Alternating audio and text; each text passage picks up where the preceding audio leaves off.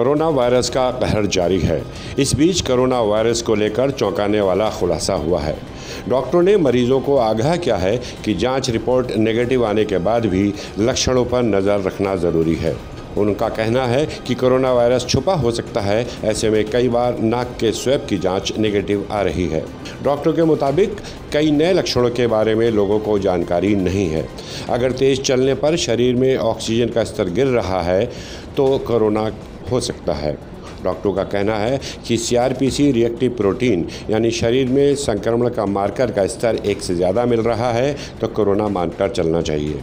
डॉक्टरों ने कहा है कि इन लक्षणों को नज़रअंदाज ना करें। पतले दस्त आना, थकान होना, गंध जाना, मुँह का स्वाद बदलना, मुँह का स्वाद कड़वा होना, आँखों का लाल होना, उल्टी होना, आँखों में खुजली होना, पेट में दर्द होना और थकान होना।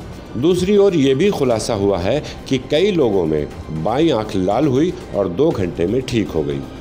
पतले दस्त, थकान, गंध जाना, मुँह का स्वाद बदलना या कड़वा होना कोविड हो सकता है।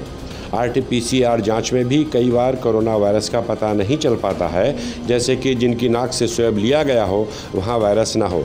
लेकिन गले और नाक से खुरच कर स्वैब निकालने के बाद मरीज़ पॉजिटिव पाए गए हैं।